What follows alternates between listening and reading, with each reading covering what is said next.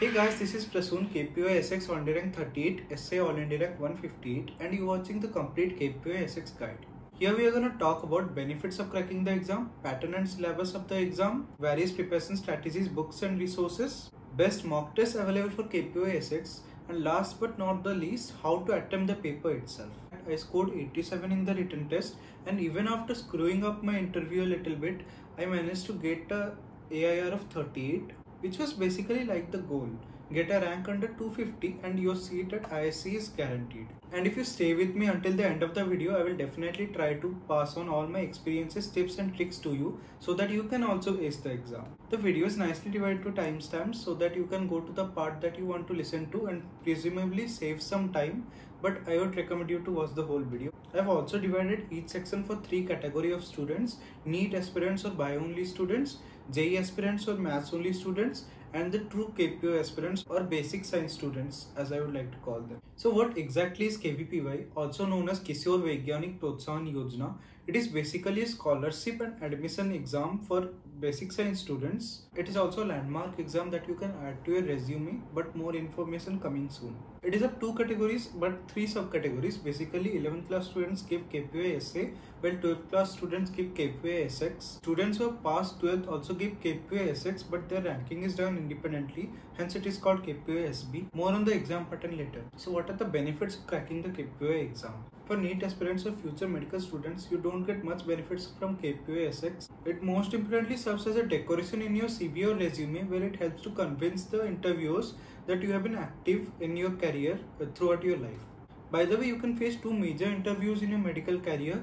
First is the super specialty interview that you will face if you want to pursue your PG in India and the second is the US residency matchmaking interview that you will face if you want to pursue further medical studies abroad in US. And the scholarship in KVPY is not granted unless you enroll in a general science field that is a pre-PhD field. But it may serve as a good experience as the first big entrance exam in your life. For JEE aspirants or future engineering students, trust me guys, if you stick to the field, you are going to face interviews everywhere in your career. So qualifying a reputable national exam in science definitely enhances your CV. But the major benefit of KVPY exams can be savored by future basic science students or future scientists for example, scholarships and contingency grants up to pre-PhD level and admission into many basic science institutes like IISc or IISERs. They also conduct an annual national science camp called Vijyoshi in collaboration with IISc Bangalore, IISER Kolkata and Inspire program funded by Department of Science and Technology itself. It is a great place to know great things, interact with the greatest minds of the world and maybe find your own calling and become one of them exam is usually conducted in two parts. First is a written test that carries 75% weightage and then an interview that contributes 25% to a final scores on which the rank is calculated. We are going to talk about the written exam in this video. You will be given 3 hours to answer the paper in which you have to attend 80 questions that gives us a total of 100 marks. Even though the paper has 120 questions it is worth 160 marks. Confused, right? Here's the catch. The paper is divided into two parts. Part 1 consists of 20 questions each of physics, chemistry, maths and biology worth 1 mark but with 0.25 mark negative marking. Out of these 4 subjects you have to attempt 3 subjects. Even if you attempt all 4 only the 3 best will be counted. Similarly part 2 consists of 10 mark questions of each subject but you have to attempt only 2 subjects here okay suggestion time. Since there is so much choice there must be a best choice an average choice and a worst choice right? Turns out that there is a loophole in all of this. There are two subjects that are the most disadvantageous. You could have already figured out which two subjects i'm talking about. The reason why physics and maths are disadvantageous is because they are not only time consuming like four or five times more than biology that i might add especially in the second part of the paper. But they are also the subjects that KVPY frequently raises its bars in like every two or three years. Trust me guys, physics was my favorite subject but even I didn't dare to attempt physics in the second part of the paper thinking that this might be the year that something completely out of the syllabus is asked in KVPY in the second part, especially of physics and mathematics. But I should not forget that a large cross section of the students watching this video are biology, non-biology students or IIT aspirants I might add and they don't want to read biology for this single exam. I should give it to you guys straight. This is going to be more challenging and difficult for you than the biology students and you need to perform much better in physics and chemistry than biology students. This is exactly opposite to the situation in KVPY SA where in the SA paper biology was too easy and the math student got those unfair advantages. That brings us into a very popular opinion for KVPY SX that you should skim through all those sections like physics, chemistry, maths and biology before attempting them which might be a good suggestion for part 1 of the paper but for part 2 it is a waste of time. Most of the questions in physics and maths are either so logical or so numerical that getting a view of exactly what the question is basically equal to solving them which does not seem time effective to me. Like does it to you? Okay scrap it all. Let's come to the real talk. What is the combination of subjects that you should take for KVPY SX this is only my opinion but for the first part take chemistry and biology and one out of physics and mathematics. Like I understand like for some students biology might be difficult but if you learn a little bit of biology then you can score much better. And for those students who don't want to read biology at all you can take physics chemistry and mathematics. But remember that it will be disadvantageous to you. Choose between physics and mathematics after attempting the previous year papers because the variation is a lot in physics and mathematics both so you should know both the ends like the higher level questions and the lower level questions. In fact it was lower than my expectation in 2019 the year that i gave the paper but it fluctuates a lot for part 2, the safest option would be chemistry and biology considering the patterns of the previous papers. But if you are too confident in your physics or maths, then keep that portion to the last of the paper. If you are thinking of going for physics and maths in second part of the paper, you have basically left your paper on the hands of the Almighty. The syllabus is complete 11th and 12th CBSE syllabus. For knowing the weightage of different chapters, uh, just Google it. You will find different websites like that of the resonance where they have done a detailed analysis of different year papers. Now let's talk about the most important part, the preparation strategies, the books and the resources for KVPY SX. But before that, I would like you to subscribe to my channel for more content like this. For biology only students or let's face it, NEET aspirants, you don't have to do much uh, more for KVPY preparation other than your NEET preparation but the difference is just that you have to end your preparation before KVPY written exam instead of the NEET exam which gives you a lot of time before NEET for revision and board exams that distracts you a lot during the NEET preparation. Just to be more clear let's take the name of some books for example in physics you need to have your NCERT level physics crystal clear and there is one book that teaches NCERT level physics better than NCERT itself and that is the H.C. Verma and yeah there is only one way to improve physics uh, practice as much questions as possible from any sources that you can get your hands on. Resonance KVPY modules are a great source for the same and even the theory is spot on. But as i said earlier since the level of questions keep fluctuating just to be double sure you can check out the books that i've recommended in the basic science student section just a moment from now. Let's come to chemistry. In physical chemistry ncert isn't enough at all you have to go to a coaching module like either of your institute or you can go for the resonance KVPY coaching modules as I mentioned earlier. For more problems in physical chemistry, you can go for Narendra Awasthi sir's book. Like preferably choose the JEE one, but if your concepts are not that clear, like uh, be true to yourself. If your concepts are not that clear, then go for the NEET one first and practice a lot of questions. In that way, you will develop your concepts automatically for the theory part of organic chemistry, NCERT may be just enough, but just to be more sure, go for your coaching modules or any other notes or coaching notes or books that you have followed until now. Chapters like general organic chemistry, hydrocarbons, aromatic compounds, reaction mechanisms, they are like the backbone of organic chemistry. So pay special attention to these chapters. Since KVPY tests your clarity in concepts rather than rote memory, unlike the very examination that you are preparing for. Also organic chemistry requires a lot of practice so you can go for like the elementary problems in organic chemistry by MS Chauhan sir. You can also go for Himanshu Pandey's book of organic chemistry like problems in organic chemistry but it has a lot of mistakes so go with caution attempt ms Chauhan's advanced problems in organic chemistry only after your concepts are crystal clear otherwise it will be a hassle. Now in organic chemistry the beginning chapters like the conceptual chapters like chemical bonding periodic table a little bit of hydrolysis these chapters are asked a lot but very little are asked from the memory based chapters. Like reaction based questions are asked so you can answer them logically like just count the number of electrons or do something like that like there is always a jugaad around those questions for periodic table chapter ncert is enough but for chemical bonding do go for your coaching modules or try the J.D. Lee book, uh, like the chemical bonding and periodic table both are really well mentioned. Again for more book suggestions in physics, chemistry and biology keep watching. Being a NEET aspirant, biology is your unfair weapon so you have to use it fully to get as much marks as possible. Just cover the whole syllabus of NCERT and that would be enough to fetch you full marks in KVPY. But being the victim myself, I would suggest you to keep your mind open during the examination. There is a very high chance of silly mistakes in the biology of KVPY since those questions are made for you to commit silly mistakes only. There are many such questions in the KVPY paper. For example, you may find yourself applying Hardy-Weinberg principle while the answer would be just a ratio of numbers already mentioned in the question at that. You can also go for Campbell instead of NCERT, but you have to do NCERT eventually for your NEET, like you have to mug it up totally.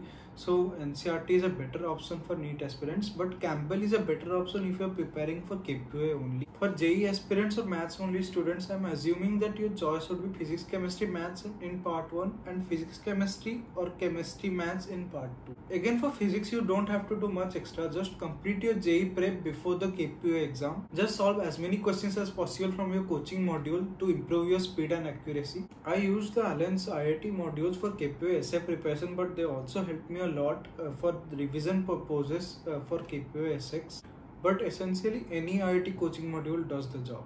Similar as the case for chemistry, your coaching modules will suffice for all three physical, inorganic and organic. Practice a lot of questions, all previous year questions and think logical during the exam. Also the KVPY SX modules of resonance are not going to be as useful for you as they were for the NEET aspirants. Since the KVPY modules are basically a compilation of high-yield topics for KVPY from the IIT modules of resonance which are much more comprehensive than the KVPY modules and since you are IIT students you would already be following a coaching institute module which is equivalent to the resonance IIT module. So better focus on completing that module rather than trying anything new.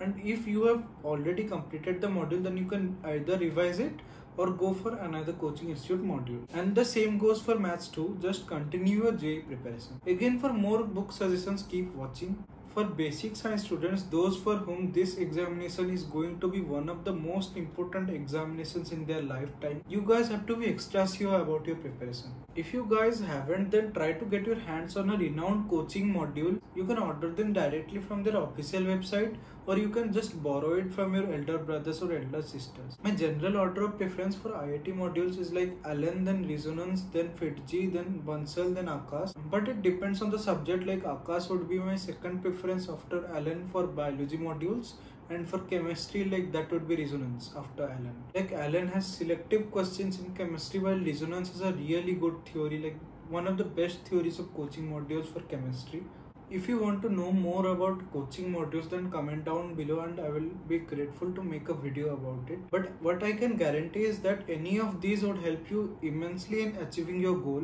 because these things teach you one thing better than anything else and that is how to attempt and solve a question. Also you get all varieties of questions handpicked by experts to practice from. Okay enough of this book suggestion time now. In physics, Cengage BM Sharma Physics and Physics Galaxy by Ashish sir are two of the best books for these kind of complete physics preparation in a limited time interval seen. Basically, Cengage has all kinds of questions and a very good theory backing it up, while Physics Galaxy has selective and quality questions with exceptional theory in some chapters like wave optics, electrostatics, modern physics, etc. It is like if you are just starting in physics and if you want one book for your complete KVPY preparation, then Cengage would be the choice. But if your basics are clear and revision and qualitative questions is what you are looking for, then Physics Galaxy is the way to go. This much of preparation may fetch you full marks in part 1 and also in part 2 if luck supports you. The standalone book that I would recommend for physical chemistry would be Ranjeet Shahi's Essential Physical Chemistry for JEE Main and Advanced. For more questions, you should go for R.C. Mukherjee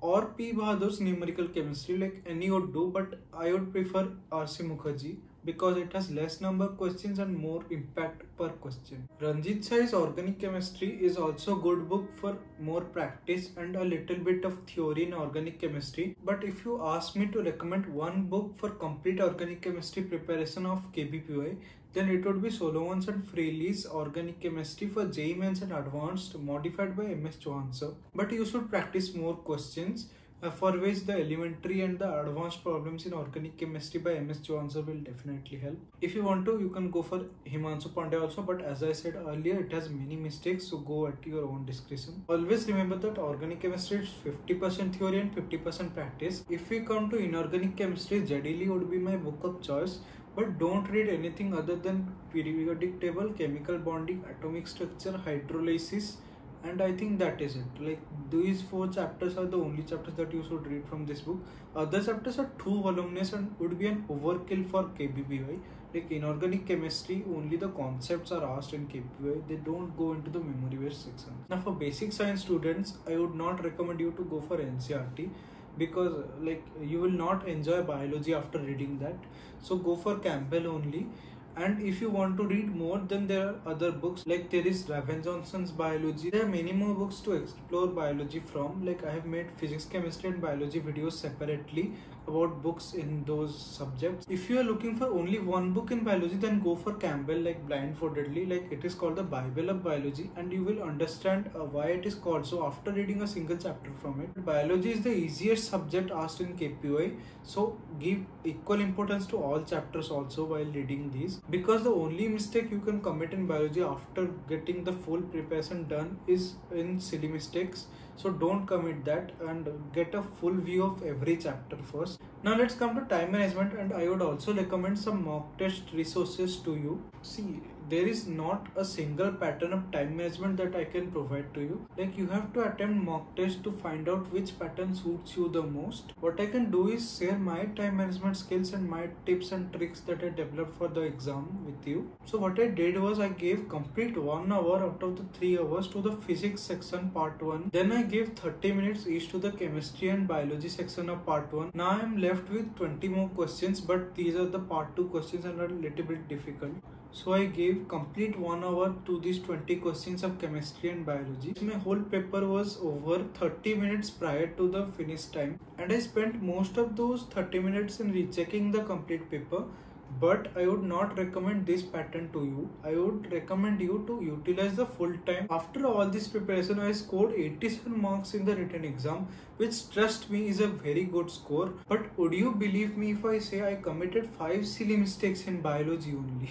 and the only reason for those mistakes was because I was not much familiar with the exam pattern because I did not give much mock tests prior to the exam. So I could not manage the time properly and gave very little time to biology and I spent 30 minutes time rechecking and I did find two mistakes in physics and chemistry sections but they are nothing compared to the five silly mistakes that I did in biology and they also upset your brain after the exam. Like why did you commit those silly mistakes? Like it was so easy.